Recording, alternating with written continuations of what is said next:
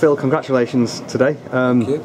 First Pro Tour of the year and first victory, so you must be very pleased. I'm pleased because I've, I've probably qualified now for the Players' Championship, which is which is hard work to qualify for. When you look around the field and you see the games that are going on, it's very difficult even just to qualify.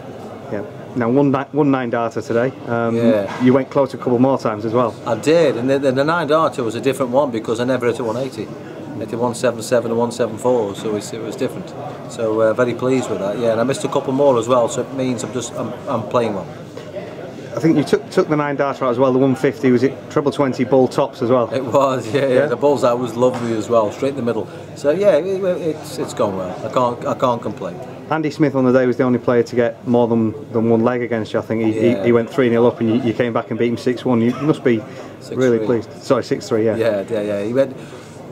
In my mind, I was playing really, really well against Andy, and in my mind, I'm thinking he's got to keep this up because I was leaving finishes, and he was going out on, on 96, 102, whatever, and he was he was playing really well. So, in my, in my own mind, I'm thinking just keep doing what you're doing, and put him under pressure, and that's what I did. Come back tomorrow, possibly take another one. I'll try my best.